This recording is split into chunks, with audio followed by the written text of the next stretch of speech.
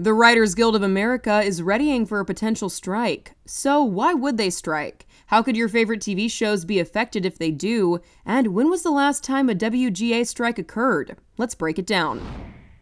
The WGA's current three year contract with the Alliance of Motion Pictures and Television Producers expires Monday at midnight. In their next contract, the WGA is asking for better compensation and working conditions for writers amid the rise of streaming services. According to the WGA, quote, while series budgets have soared over the past decade, median writer-producer pay has fallen.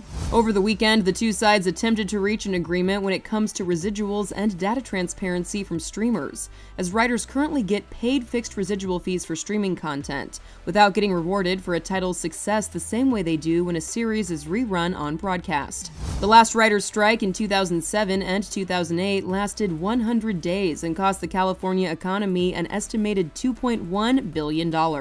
It resulted in many shows being canceled, with companies relying on reality TV as networks leaned into unscripted programming. The 65th Golden Globes were also canceled, with winners' names announced during a press conference instead. This time around, if an agreement is not reached, a work stoppage will likely begin on May 2nd, and writing for television, feature films, and streaming series would be halted.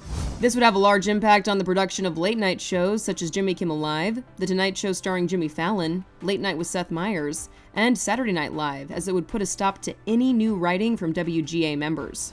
Additionally, a strike in May might delay the network television season, as writers on fall network series typically start work in May or June ahead of the season premieres. Since rumors of a strike have been looming for months, networks and streamers like Netflix have been trying to get ahead of the possible work stoppage by stockpiling scripts, handing out early renewals, and amassing unscripted titles that do not involve unionized writers. Netflix co CEO Ted Sarandos said of a potential strike, we really don't want this to happen, but we have to make plans for the worst, and so we do have a pretty robust slate of releases to take us into a long time. Warner Brothers Discovery president and CEO David Zaslav also has said the company has content lined up should a work stoppage occur. For more on this story and the latest updates, head to thr.com. This is the Hollywood Reporter News.